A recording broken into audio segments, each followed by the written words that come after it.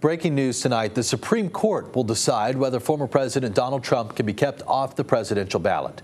Justices will take up the case from Colorado, where the Supreme Court ruled Trump should not be on the primary ballot because of a provision of the 14th Amendment, barring some people who engaged in insurrection from holding public office.